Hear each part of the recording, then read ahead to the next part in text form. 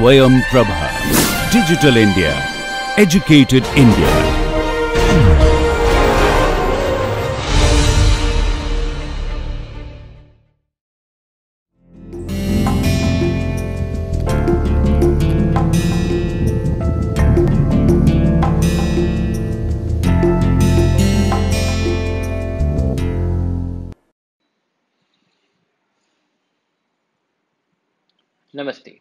Today we begin a new module which is Markets, Welfare and Conservation. This module will have three lectures Surplus, Market Efficiency and the Cost of Taxation, and International Trade. So let us begin with surplus. Well, we have seen in uh, the principles of economics that trade can make everyone better off and also that markets are a good way to organize economic activity. Now the question is why does trade make everyone better off and why is market the best way to to organize the economic activity?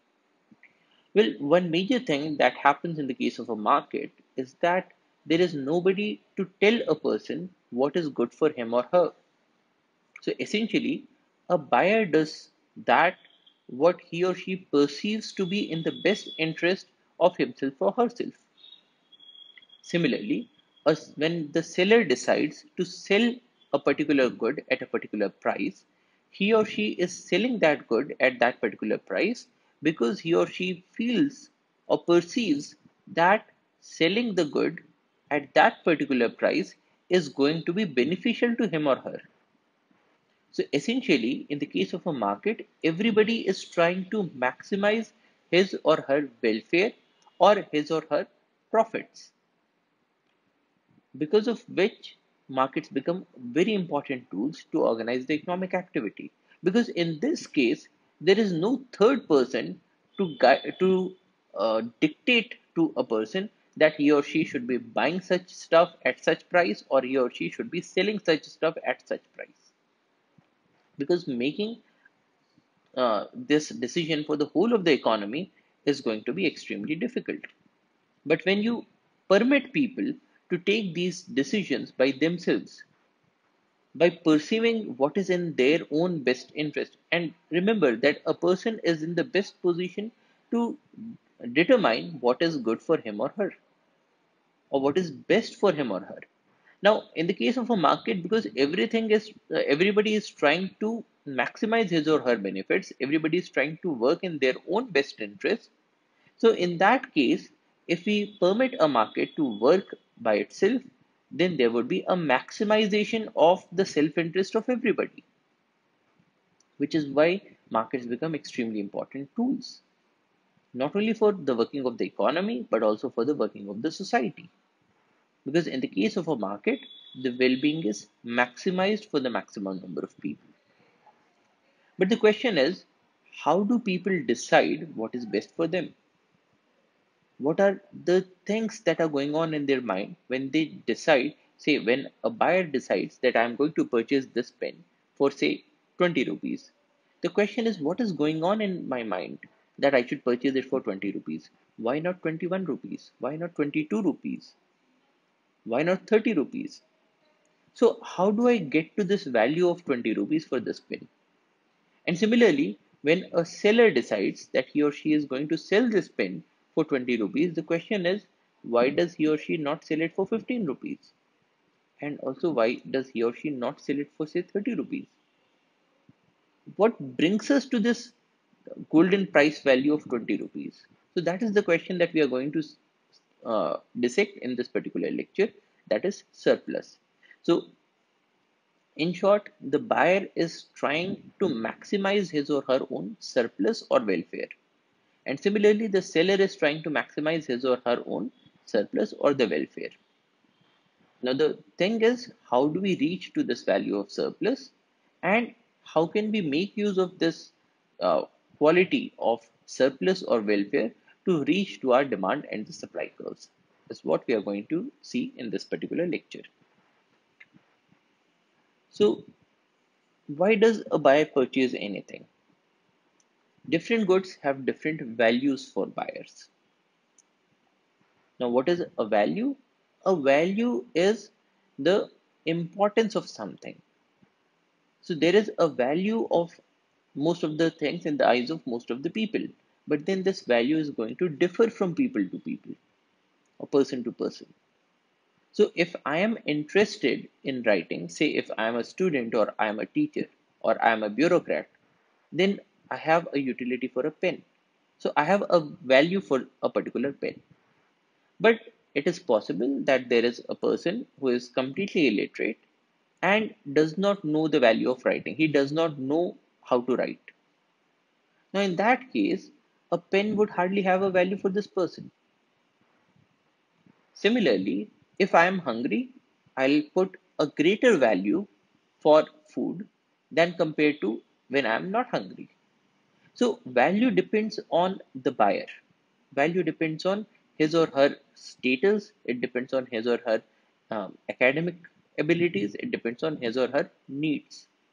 And because needs change with time, whether a person is hungry or not, whether a person has just run out of a pen before signing, say, a, a very important document, or somebody has run out of a, a pen just before an examination, then that person will put a greater value to a pen as compared to another person who, say, has 10 pens with him. So, value uh, varies from person to person, and value is what decides how much am I going to pay for any particular good. So different goods have different values for buyers and these goods are available at different prices. Which means that suppose I have a value for a pen and I say I think that this pen is going to uh, provide me a benefit which is say equal to 50 rupees. Now in the market I'll if I go and to purchase a pen I'll find pens at different prices. So there can be a pen for 5 rupees, there can be a pen for 5000 or say even 50,000 rupees. Now the value that I'm putting to the pen at this particular juncture is 50 rupees.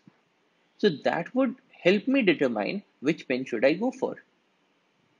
Now suppose I'm only going to use a pen for a normal writing and it, it is not going to have a sentimental value for me.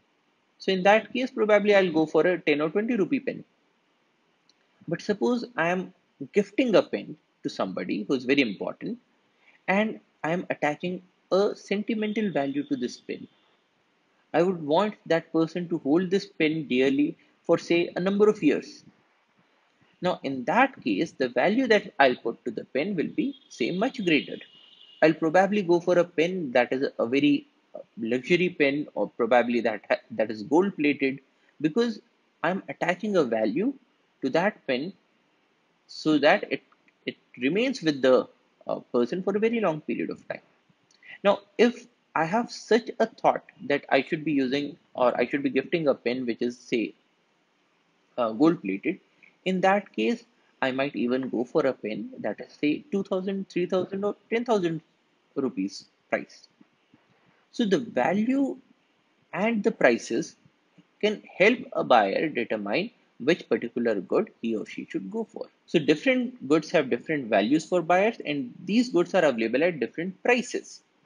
Now, if the value of a good is greater than its price, the buyer may purchase the good and enhance his or her surplus. Meaning that currently if I am out of pins and I am putting a value for a pin at 50 rupees, and suppose I go to the market and I get a pen of my liking for say 20 rupees. Now in that case, the value that I was putting to the pen was 50 rupees. The price is 20 rupees. So essentially in my mind, I'll think that, okay, I'm at a profit. And this is the profit of 30 rupees. Now, mind you, I'm not getting these 30 rupees. But it's just that I'm thinking that something that has a value of 50 rupees, I'm able to get it for 20 rupees. It is very, very similar to when we decide which particular vehicle to get or say which plot to buy or which house to buy. Now, suppose I uh, look at different houses and I figure out that, okay, the this house has a valuation of say 70 lakhs of rupees. And if this house is available in the market for 50 lakhs of rupees, then it might go on in my mind that okay, the value is 70 lakhs, I'm able to get it for 40 lakhs. So there is a difference of 30 lakhs between the price and the value. I may hold this house and probably I might sell it at a later point of time for 70 lakhs of rupees. Now, in this case, when I purchase the house, I'm not getting that 30 lakhs of rupees. But I'm happy because I'm thinking that I'm getting something that has a value of 70 lakhs and I'm only getting it for 40 lakhs of rupees. Now, similarly, in the case of any good or service that we are purchasing. So, if the value of the good is 50 rupees, the price is 20 rupees, then in the mind of the buyer, there will be a thought that I am getting this thing of a higher value at a lower price. And this difference is known as surplus. So consumer surplus is the amount a buyer is willing to pay for a good minus the amount the buyer actually pays for it. Meaning that suppose I was willing to pay 50 rupees for a particular pen, but I got it for just 20 rupees. So in that case, the difference between 50 rupees and 20 rupees is the consumer surplus that I am getting. The amount a buyer is willing to pay for a good. And what is the amount that a buyer will be, be willing to pay for a good? It will be equal to the valuation of that particular good in the mind of the buyer. So if I perceive that this pen is having a value of 50 rupees, so 50 rupees is the maximum that I'm going to pay for it. So I am willing to pay 50 rupees for it because that is the value of this good in my mind. But it is available for just 20 rupees. So the difference between the amount a buyer, a buyer is willing to pay for the good and the amount the buyer actually pays for it is the consumer surplus. This is related to the concept of willingness to pay, the maximum amount that a buyer will pay for a good and this is an indication of the value of the good to the buyer. Now what we are saying here is if I perceive that this pen has a value of 50 rupees, will I pay 60 rupees for it? Well, probably not. Why? Because the value is 50 rupees, so why should I be paying 60 rupees? Will I be paying 51 rupees? Probably not. Because here again, the uh, price is more than the value. But if the price is also 50 rupees and my value is also 50 rupees. So in that case, I might pay for it. Now here again, the thing is I might pay for it because my surplus remains the same whether I purchase this good or not. Or to put it in other words, suppose I have rupees 500 with me and if I use it to buy this pen for 50 rupees then I am only left with 450 rupees because I have spent these 50 rupees to buy this pen. But earlier the total value that was with me was 500 rupees and now also the total value is 500 rupees. So in that case I will be ready to purchase this pin. But what happens if I am able to get this pin for a lot lesser? So the point is, in place of 50 rupees, suppose I am able to get this pin for 20 rupees. So in place of 50, this is 20 rupees. So I am left with 480 rupees. So what is the, the total value that is with me with now? So it is 480 rupees plus 50 rupees because 50 rupees is the value of the pin that I am putting. So the total value with me is now 530 rupees. So uh, I began with a value of only 500 rupees. So this is the initial value. But after the transaction, I have 530 rupees. So essentially, with this transaction, I am able to increase the total value that remains with me. And if economics says that every buyer is trying to maximize his or her own assets. So earlier the asset was only 500 rupees, but now the asset is 480 rupees plus this pen. And in my mind, the value of this pen is 50 rupees.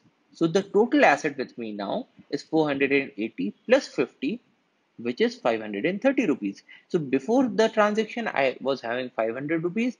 Now I am having assets worth 530 rupees. So I will go for this transaction.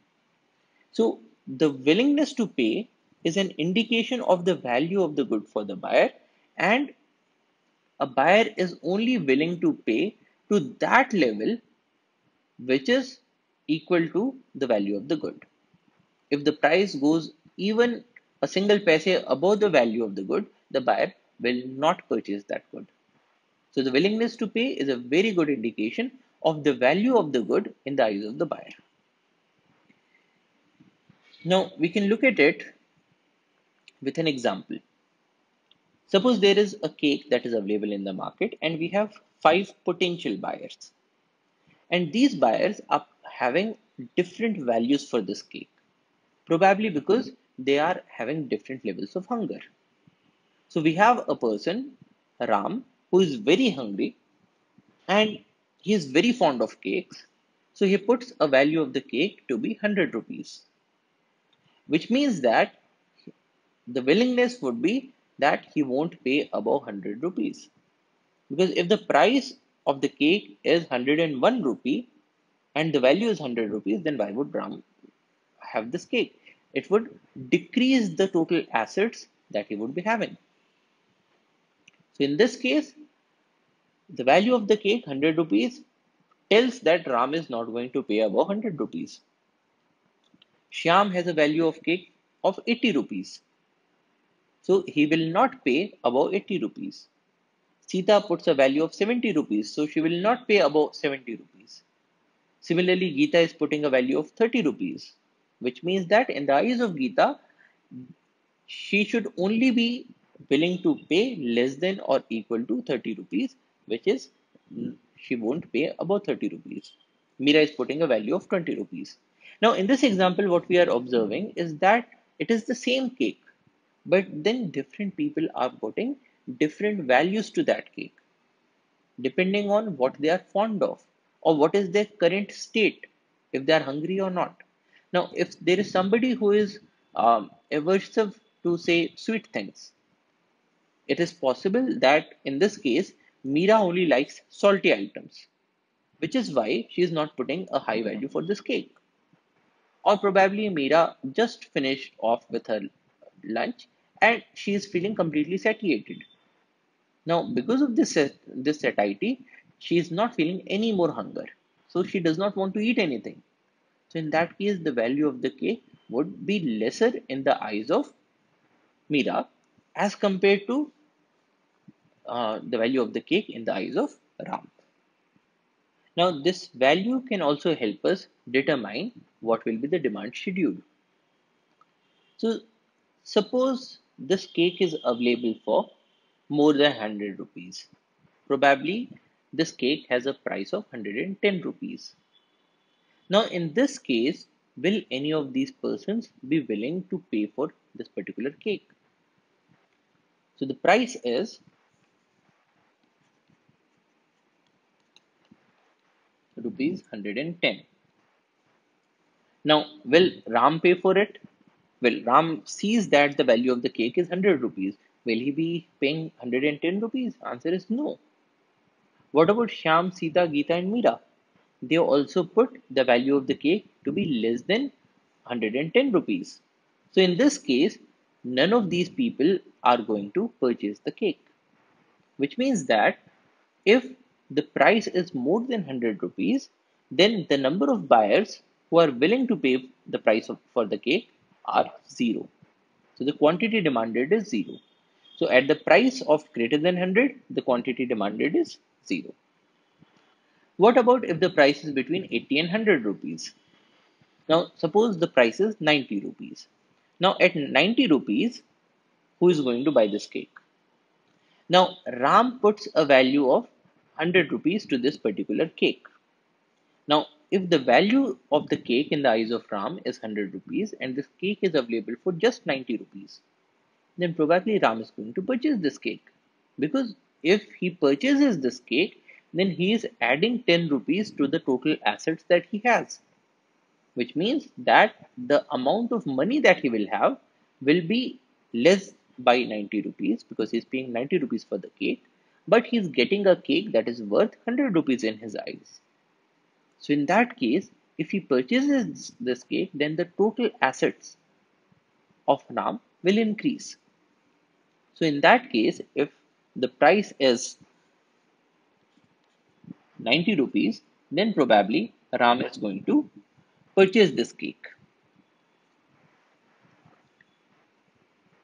So at any price between 80 and 100 rupees, because 80 rupees is the value of that Shyam is putting. So if it is anything that is more than 80, say 80 rupees and 1 paise, 200 rupees, then we will have only Ram who is willing to pay the price for the cake. And so the quantity demanded in this case becomes 1. For a price between 70 and 80 rupees, so say the price is 75 rupees.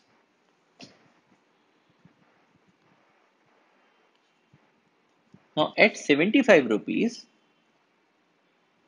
Sita will not want to buy this cake. Why? Because the value in the eyes of Sita is just 70 rupees. So why should she pay 75 rupees? Similarly, Geeta will not purchase the cake for 75 rupees. Meera will, will also not purchase. But Shyam will think that okay, the value of the cake in my eyes is 80 rupees. It is available for 75 rupees. So if I purchase this cake for 75 rupees, I will add 5 rupees to the total assets that I have. Now remember that in the case of economics, we think that everybody is a rational thinker. So everybody is making rational decisions to maximize his or her own assets, or in other words, his or her own welfare. Now in this case, Shyam will think that if I purchase this cake, I will add 5 rupees to my assets because just by paying 75 rupees, I am getting something that is worth 80 rupees. So for any price between 70 and 80 rupees, we will have Ram and Shyam who are ready to buy. So between a price of 70 to 80 rupees, we have Ram and Shyam who are willing to pay the price for the cake and so the quantity demanded becomes 2. Similarly, at a price between 30 and 70 rupees, between 30 and 70, we will have that the price is less than the value that Ram, Shyam or Sita put to it. So for a value between 30 and 70, Ram, Shyam and Sita will be willing to pay the price for the cake and so the quantity demanded becomes 3. Between a price of 20 and 30 rupees, we will have 4 people who will be ready to pay the price. And so the quantity demanded becomes 4. And for a price that is less than 20 rupees, all 5 of them would want to uh, pay for it. So they will be willing to pay the price for the cake and so the quantity demanded becomes 5. So in this way, we can convert the valuation of different buyers into the demand schedule. Now demand schedule is the table that tells us what is the quantity demanded at each price. Now in this case, we are observing that uh, when the price goes down, the number of buyers or the potential buyers increase in, and we can convert this into a demand curve if we plot it. So here we were observing that above 100 rupees, the quantity demanded is zero. So if the price of the cake becomes more than 100, then the quantity demanded, it becomes zero. So which is why we are getting a line, uh, this vertical line here.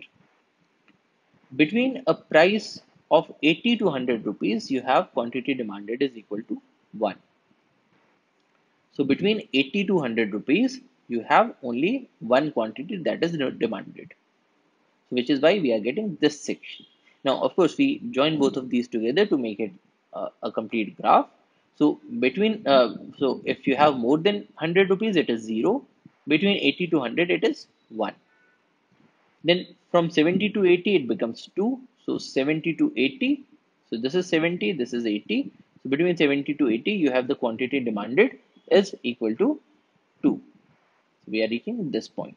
So this is the price point of 70.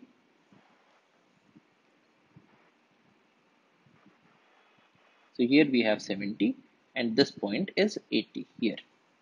So between 70 and 80, we have a quantity demanded that is 2. Then from 30 to 70, it is 3. So from 30, so 30 is this point. This is 30. So between 30 and 70, we have a quantity that is 3. Between 20 and 30, it is 4. So from 20 to 30, 4 are demanded and less than 20 we have a quantity demanded of 5 so if it is it becomes less than 20 then there is a demand of 5 so this is bringing us to the demand curve. So let us remove this these lines now. So this is now the demand curve that we are observing here. Now you'll observe here that as the price reduces the quantity demanded increases which is the law of demand. With a decrease in price, there is an increase in the quantity demanded. And we are observing that this demand curve is coming from the valuation that different people are putting. And when the price becomes very less, then the price becomes lucrative for all those people who were putting a valuation above that price. So the uh, so the quantity demanded it increases. But when the price increases, then it might reach to a level where there are a number of potential buyers who are now thinking that the price is too high and so they will not demand the good at that particular price. So as price increases, the quantity demanded decreases, which is what we are observing in this curve. Now, with this curve, we can start to talk about the consumer surplus which is there at different prices. Now, what is consumer surplus? Consumer surplus is the difference between the value of the good and the price that a person is willing to pay for it. So, at different price points, we can compute the consumer surplus. So, suppose we talk about the price point of 90 rupees. Now, at a price point of 90 rupees, there is only one person who is demanding the good, which is Ram. Now, Ram had put a value of 100 rupees for the cake. And the value is 100 rupees it is available for 90 rupees. So what is the consumer surplus for Ram?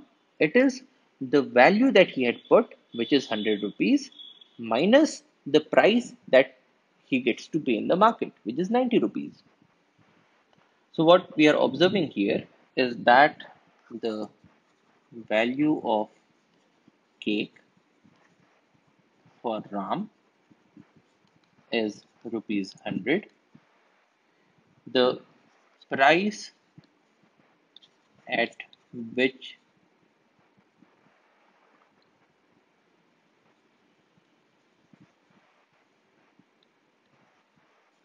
which cake is available is rupees 90 and so the consumer surplus for Ram is 100 minus 90 is 10 rupees. So here we are observing that at the price point of 90 rupees, Ram's consumer surplus is 10 rupees. Now, if the price lowers, so suppose in the market this cake is available for 80 rupees. In that case, Ram's consumer surplus will be 100 minus 80 is 20 rupees. Now, if the price goes down even further, at a price point of 70 rupees, Ram's consumer surplus will be given by the value that he had put 100 rupees minus 70 rupees is 30 rupees. But at the price point of 70 rupees, we also start to observe Shyam's consumer surplus. So Shyam's consumer surplus, because he had put a value of the cake to be 80 rupees and it is available for 70 rupees, so Shyam's consumer surplus is this difference 80 minus 70 which is 10 rupees. And in that case the total consumer surplus will be given by Ram's consumer surplus and Shyam's consumer surplus is 30 plus 10 is 40 rupees. Now remember that in the case of a market, everybody is a price taker, which means that they are not able to influence the prices. Neither Ram can influence the price nor Shyam can influence the price. So we are not talking about haggling or bargaining in the market. So the price is fixed. And at this price point, any buyer can purchase any number of items that are there in the market. So at the price point of 70 rupees, Ram can also purchase a cake and Shyam can also purchase a cake. Because of which we are adding both of their consumer surpluses to get the, the total consumer surplus. Because at 70 rupees, Ram will get a consumer surplus of 30 rupees if he buys the cake. Shyam will get a consumer surplus of 10 rupees if he buys a cake. And both are able to buy a cake in this market because the number of goods is not limited. And so the total consumer surplus will come to be 40 rupees. If the price goes down even further, so say at a price point of 30 rupees, we will have Ram's consumer surplus, which is given by this area, which is the difference between 100 rupees, which was his valuation, and the price of 30 rupees. So the Ram's consumer surplus here is 70 rupees. Shyam's consumer surplus is 80 minus 30 is 50 rupees. Sita's consumer surplus is 70 minus 30 is 40 rupees. So at the price point of 30 rupees, now three people are demanding the good and all three of them are having different consumer surpluses. And the total surplus is given by 70 plus 50 plus 40 is 160 rupees. If the price goes down even further, say at 20 rupees, now four people are having consumer surpluses. So Ram's consumer surplus is 100 minus 20 is 80. Shyam's is 80 minus 20 is 60. Sita's is 70 minus 20 is 50. And Geeta's is 30 minus 20 which is 10 rupees. And the total surplus is given by 80 plus 60 plus 50 plus 10 which is 200 rupees. So now the total consumer surplus is 200 rupees. When the price goes down even further, say at a price point of 0 rupees, we will have a consumer surplus by all five of the potential buyers. So Ram's consumer surplus will be 100 minus 0 is 100 rupees. Shyam's consumer surplus is 80 minus 0 is 80 rupees. Sita's is, is 70 minus 0 is 70 rupees.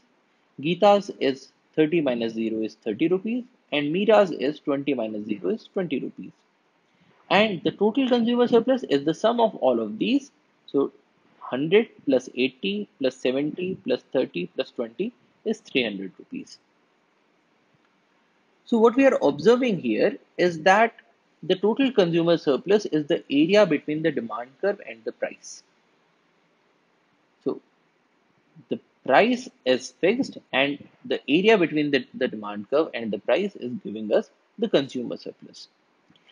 Now, in the case of a market, there are not just five sellers, there are n number of sellers. And in the case of a very large number of buyers and sellers, uh, which is our theoretical construct of a competitive market, what happens is that because we have, say, infinite number of buyers, and each buyer is putting a different value to the good, so these steps will become uh, even finer. And so ultimately, we will get to a curve that is just a straight line.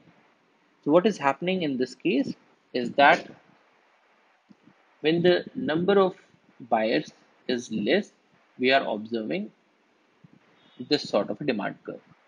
When the number of buyers increases in the market, we will start observing a curve like this.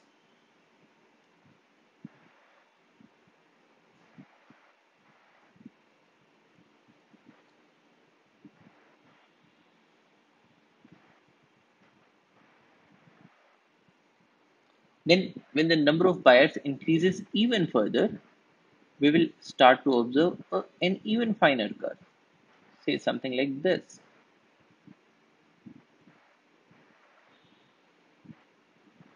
So as the number of buyers is increasing, the demand curve is becoming more and more finer. And ultimately, when the number of buyers is too high, it is close to infinity, then we will observe just a straight line. So the straight line that we are so accustomed to watching in the terms of the demand curve is actually this demand schedule of a very large number of buyers seen together. So because of that, it has become so fine that it now looks like a straight line. So now the demand curve is looking like a straight line. Now what happens for such a demand curve is that if we con consider a consumer or a potential buyer at this price point, so this is the price that he is willing to pay. And this is the price that he is actually getting in the market. So the difference between both of these, this much, is his consumer surplus for this buyer. Similarly, for this buyer, we will have a consumer surplus which is equal to this amount. And if we look at all of these potential buyers, we will find that the total consumer surplus is this area that is shown in yellow. So the total consumer surplus is the area between the demand curve and the price, which is the area below the, the demand curve till you reach to the price at which this particular good is available in the market. Another key takeaway is that with lower prices, we can raise the consumer surplus. Because here we had observed that when the prices are high, then the total consumer surplus is less. When the price goes down, the total consumer surplus increases because the, the total consumer surplus is this area between the demand curve and the price point. So if you bring the price lower, then you will add to the area that is there in the consumer surplus. So at this price point, we have this area in blue that is the consumer surplus because it is the area between the demand curve and the price. At a lower price point, we have a larger area which is given by this. So all of this is now a part of the consumer surplus. So it includes this area that was there earlier plus this area that is there in green. So at a lower price point, the consumer surplus increases. If you reduce the price even further, the consumer surplus will increase even further. And at a price point of 0 rupees, the all the area that is below the demand curve will become the consumer surplus. So these are the two take, key takeaways. One, total consumer surplus is the area between the demand curve and the price. And two, lower prices raise the consumer surplus. Now, it is important to note here that the consumer surplus measures the benefits to the buyers as they themselves perceive it. That is, nobody is telling the buyer that this is your consumer surplus. But what is happening is that every buyer is putting a different value to the same good. Probably because they are in a different profession, probably because they are in a different state, probably because there is a different level of emergency to all of these people. So a person who is say extremely hungry will be in a more emergent requirement of food than say a person who just had his meal. So different people are putting different values. So they are perceiving different values and the difference between their values and the price is giving us the consumer surplus. So it is the measure of the benefits to the buyers as they themselves perceive it. There's nobody from outside who's telling them that this is the benefit that they have. The benefit that they are perceiving is the consumer surplus. Now, another question that we can ask in a market is why does a seller sell? Now, a buyer was buying things because he was increasing his assets. Because he was giving less amount of money and he was getting something that was worth more in his eyes. So, which is why a buyer was buying a good. Now, the question is, why does the seller sell the good? Now, in the case of a free market, everybody is working for his or her own welfare, which means that when the seller is selling the good, probably the seller is also increasing his or her own assets. So when the seller is selling this pen for 20 rupees, then probably he was able to make this pen for 15 rupees so that he is able to get a profit of 5 rupees. It is only then that the seller would be willing to sell in this particular market. Now, in a market, different goods have different costs for sellers. Now, why should any good have different costs for different sellers? And why should different goods have different costs? Well, one primary thing that determines the cost to the sellers is the cost that it takes to manufacture the product. That is not just the cost of the raw materials and the cost of labor or the cost of running the machines, but also the cost of transportation. Now, there are certain items that are simple to construct or simple to make, such as things like potatoes. Now, in the case of potatoes, the price is less because the cost of production is less. On the other hand, if we talk about an expensive item, such as, say, a mobile phone, so a mobile phone requires a much greater amount of technology. It requires resources that might not even be available in the country of manufacturing. So probably it would require certain rare earth metals that are extracted from certain parts of the earth, brought to the place where uh, the phone is uh, going to be manufactured, and then say processed or um, integrated into the device to make the mobile phone. So in that case, the cost to make the mobile phone will be much greater. At the same time, the same good can be made by different sellers at different costs because different sellers would be having different efficiencies. A good example is two farmers who are cultivating potatoes, but one farmer is more efficient, so he is able to grow more number of potatoes or more kgs of potatoes per season as compared to the other farmer. So this brings us to the point that different goods have different costs for the sellers. And these goods are sold at different prices. Now, cost is something that is being determined by the product as well as the efficiency of the manufacturer or the seller. Whereas the prices are determined not just by the sellers but also by the buyers. So, in uh, uh, to give an example, if there is um, a particular food fad for say potatoes, then the price of potatoes may go up.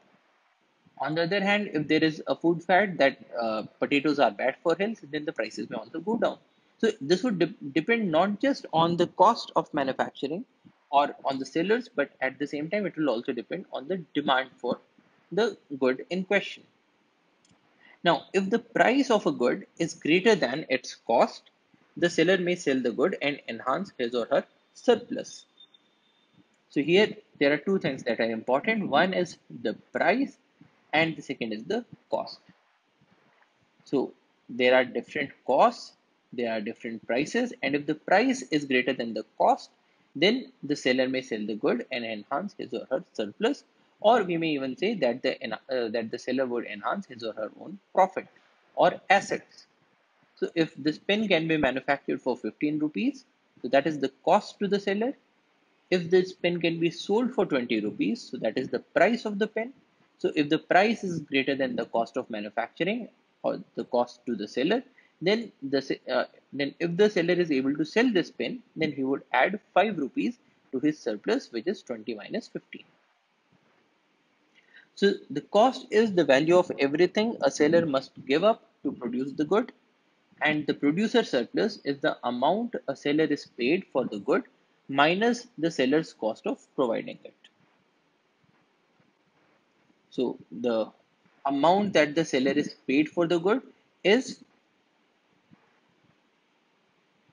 the price minus the seller's cost of providing the good. Now to take an example, let us say that the cost of producing a cake by five different people. So in this case, Ram is producing a cake for 100 rupees. So in this case, Ram is a seller who is producing a cake for 100 rupees.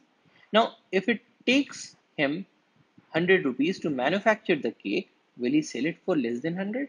The answer is no. because nobody wants to sell something at a loss. And in the case of a market, we take this assumption that everybody is trying to maximize his or her welfare or surplus. So in this case, because the cost to manufacture for Ram is 100 rupees, so he will not sell below 100 rupees. In the case of Shyam, his cost of production is 80 rupees, so he will not sell below 80 rupees. Sita is a third manufacturer. Her cost of manufacturing the case is, uh, the cake is 70 rupees, so she will not sell below 70 rupees. So in all these cases, what we are observing is that we have different sellers who are out there in the market and they have different cost of production. And the cost of production gives us the willingness to sell. So uh, a seller will only sell something if the price in the market is greater than the cost of production. If the price is less than the cost of production, then the willingness is not there. We can use this chart of willingness to reach to the supply schedule. If the price of the uh, of one cake is more than 100 rupees, then say the price of the cake is rupees 110 rupees. Now at 110 rupees, we will find that Ram is willing because he won't sell below 100 rupees, but he will sell above 100 rupees. So Ram is willing to supply, Shyam is willing to supply, Sita is willing to supply, Geeta is willing to supply, and Meera is willing to supply. So at a price point which is above 100 rupees, which is the maximum cost of producing the cake for any of these five sellers, we find that all the five sellers are willing to supply the good. And so we will find that at a price of more than 100 rupees, the quantity supplied is 5. At a price point between 80 and 100 rupees, so 80 and 100 rupees, so we are taking a price point in between both of these. Let us say that the price point that we are considering now is 90 rupees. Now at a price point of 90 rupees, Ram will not sell because his willingness is not to sell below 100 rupees. So 90 becomes less than 100, so Ram will not sell. His cost of producing is more than 90 rupees. But what about the other four? The other four will be willing to supply the cake because their cost of production is less than 90 rupees. So if any of them sell a cake, then they will be earning a profit. Now in this case, we will have these four people, Shyam, Sita, Geeta and Meera, who will be willing to supply. So at any price point between 80 and 100 rupees, we will have four people who are willing to supply and so the quantity supplied to the market is 4. Similarly, at a price point between 70 and 80, at this price point, say 75 rupees, you will have only 3 sellers. So between 70 to 80, you have only 3 sellers and the quantity supplied is 3. At a price point between 30 and 70, you will have only two sellers. At a price point between 30 and 20, you will have only one seller. And at a price point that is below 20 rupees, you will find that none of these sellers is willing to supply. So if it is less than 20 rupees, then you have the quantity supplied, which is zero. Now, this is the supply schedule, which is telling us the quantity supplied for the good by uh, at, at different price points. So this is the supply schedule. Now we can convert this supply schedule into a supply curve. So this is the supply curve. At a price of less than 20 rupees, we have zero quantity that is supplied. At a price point of 20 to 30, you have only one good that is supplied. So at a price point between 20 rupees and 30 rupees, you have one cake that is supplied. We are getting this vertical section from here and then we join both of these uh, to get the curve at a price point between 30 and 70 rupees. 30 to 70 you have quantity supplied is 2 so which is here quantity supplied is 2 between a price point of 30 and 70 and so on. So in the case of the supply curve what we are observing is that if the price is increasing more and more quantity are being supplied to the market which is the law of supply as the price increases, the quantity supplied also increases. So what we are observing here is that we can convert the cost of production or the willingness uh, chart into a supply schedule because any person will only be willing to supply at greater than the cost of making the good. And from the supply schedule, we get to the supply curve. And we are observing that as the price increases, more and more number of sellers become willing to supply the good. And so the quantity supplied to the market also increases, which is the law of supply. Now, in this example, we are having only five sellers. But then in a natural market situation, and especially in a competitive market, we have a very large number of buyers and a very large number of sellers. Now, when the number of sellers is very large, then this curve becomes even more finer. So what happens is that currently we are observing a curve that goes like so our current curve looks like this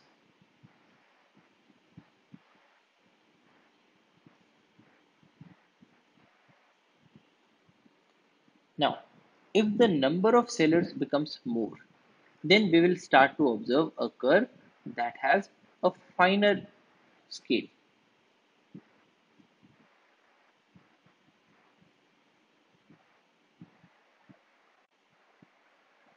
And especially if uh, the goods are also sold in much finer quantities. And if you have an even larger number of sellers, so ultimately we will reach to a position where this curve will just become a straight line.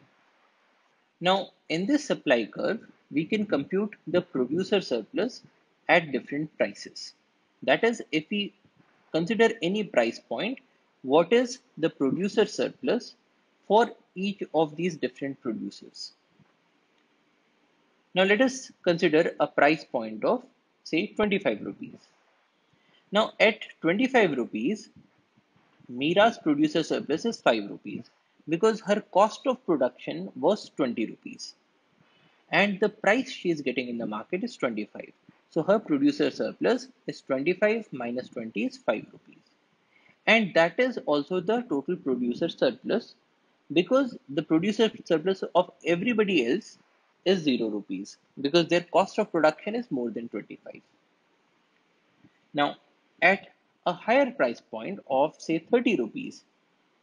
Meera's producer surplus is 10 rupees because her cost of production is 20.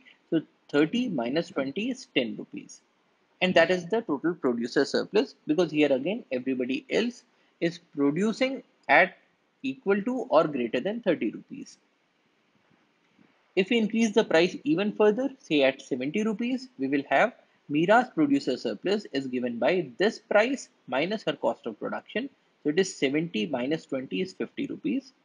Geeta's producer surplus is 70 minus, uh, 30, her cost of production, which is now uh, giving us a producer surplus of 40 rupees. Sita's producer surplus is 0 rupees because her cost of production is 70 and for others the cost of production is greater than 70. So in this case, what is the total producer surplus? It is 50 plus 40 plus 0 plus 0 plus 0. So it becomes 90 rupees. At an even greater price point of say 80 rupees, Meera's producer surplus becomes 80 minus 20 is 60. Geeta's becomes 80 minus 30 is 50. Sita's producer surplus is 80 minus 70 is 10 rupees. Shyam's is 0 because his cost of production itself is 80 rupees and Ram's is also 0 because his cost of production is greater than 80 rupees. So he is uh, as good as he is not there in the market. Now in this case the total producer surplus becomes 60 plus 50 110 plus 10 is 120 rupees. If you increase the price even further say at a price point of 100 rupees, we find Meera's producer surplus is 100 minus 20 is 80. Geeta's is 100 minus 30 is 70. Sita's is 100 minus 70 is 30. Uh, Shyam's is 100 minus 80 is 20. Ram's producer surplus is 0 rupees because his cost of production itself is 100. In this case, the total producer surplus becomes 80 plus 70 plus 30 plus 20 is 200 rupees. And if the price becomes say 120 rupees, then here you have Meera's producer surplus is 120 minus 20 is 100. Geeta's is 120 minus 30 is 90. Sita's is 120 minus 70 is 50. Shyam's is 120 minus 80 is 40. And Ram's is 120 minus 100 is 20 rupees. Now we had seen before that if the price goes beyond 100 rupees, then all five sellers are willing to supply the good into the market.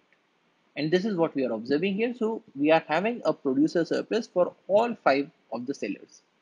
And the total producer surplus now has become 300 rupees.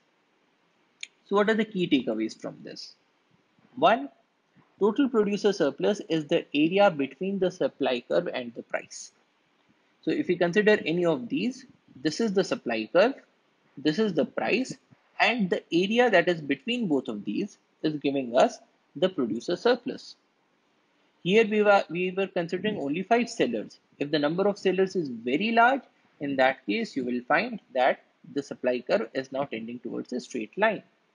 And now the producer surplus is this area that is between the supply curve and the price because for any producer if this is the price and this is the cost of production then this difference between the price and the cost of production gives us the producer surplus so this is the producer surplus for uh, a seller who is at this point for for a seller who is at say this point the producer surplus will be given by this amount and so on. So in total, when you have a very large number of sellers, then the producer surplus is this area. So this is the first key, key take point. The total producer surplus is the area between the supply curve and the price. The second is that higher prices raise the producer surplus, which is what we had seen before. For a very low price point, say 25 rupees, total producer surplus is 5. When the price increases, we observe that the producer surplus goes on increasing. So in these curves, you will observe that as we increase the price, as the uh, pink curve moves up, we start seeing a larger producer surplus. So this is the second key takeaway. Higher prices raise the producer surplus. And in this curve, what we observe is that at this price point, this is the producer surplus. At this price point, we have not only this blue area, but this green area is also added to it. At this price point, we have the blue, green, and the pink areas. So this total becomes the producer surplus. That is this triangle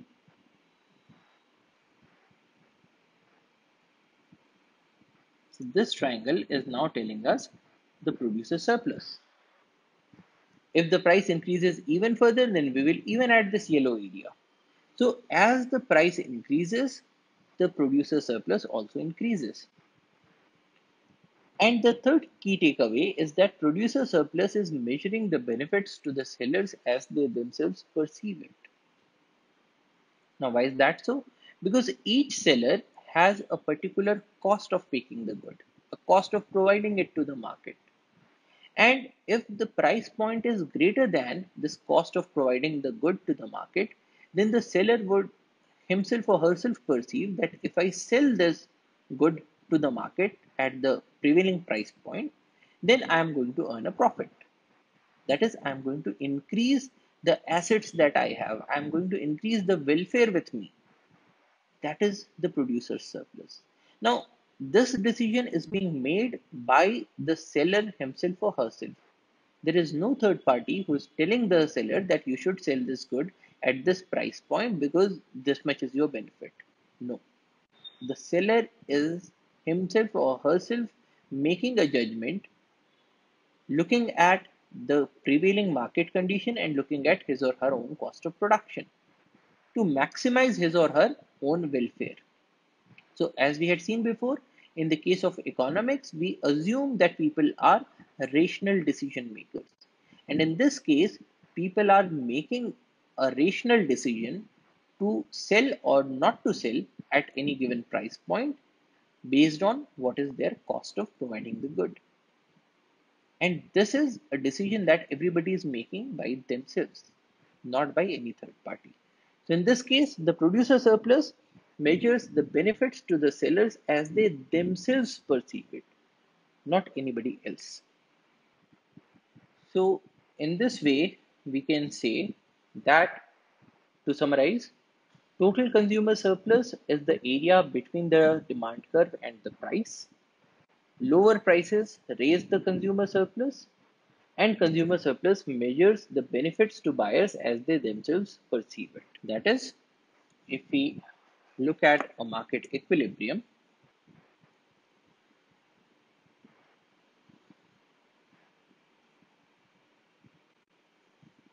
so here you have the price, here you have the quantity, and here we have the supply curve and here we have the demand curve.